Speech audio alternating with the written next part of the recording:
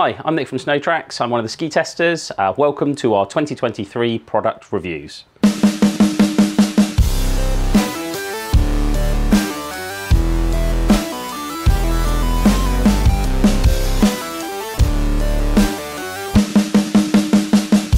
So this is the Dynastar M Pro 90. Um, one of the first things I notice about this ski when I pick it up um, is the shape actually compared with a lot of the other skis in the rack.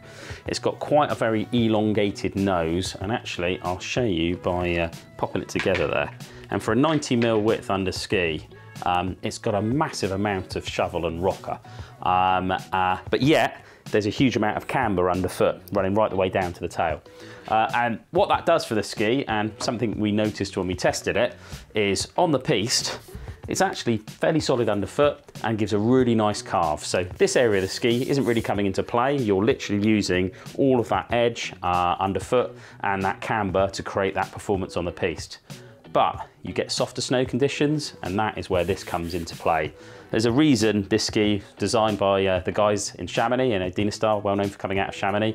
Um, the conditions they get out of there, you know, a lot of off-piste, a lot of free ride, but also there's days when it's icy and solid. So um, I think this is the perfect, perfect Chamonix ski uh, and for resorts similar to it. Um, we really loved it.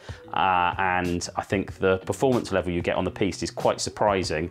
Uh, and actually the performance off-piste for a 90 mil underfoot ski um, was actually very, very good. And that's all down to the, the, the tip here. So um, we've also got the uh, 85 here as well. And again, I'll show you that, similar thing, 85 mil ski underfoot with all this rocker. Uh, and we compare that with a lot of other skis, you don't tend to see that shape so much. So I think if you're looking for a lot of off-piste, um, but you think you might encounter some sort of fairly solid stuff on the, on the piste, then this is a really good option and it's a really good look, that kind of like sleek black look, uh, and then sort of poppy base. So Dynastar M Pro 85 and 90, both good skis, and uh, I think you'll be very happy if you're riding one of these out in the mountains this season. So we get lots and lots of questions um, about which size of ski to go for uh, and sometimes a choice between a couple of models and also which binding to go for. Um, so please just get in touch with us. We love hearing from our customers. We're always available to chat skis. So uh, go to our website, snowtraxstore.co.uk. Um, all our contact details are there and please get in touch and we can give you the right advice so you have the best time on your holiday.